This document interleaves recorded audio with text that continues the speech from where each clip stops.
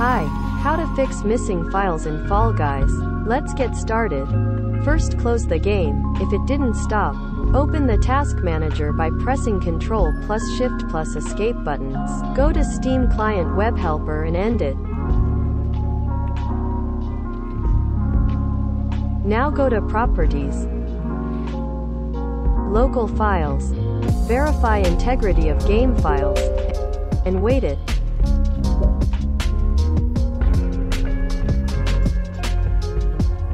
Now open the game.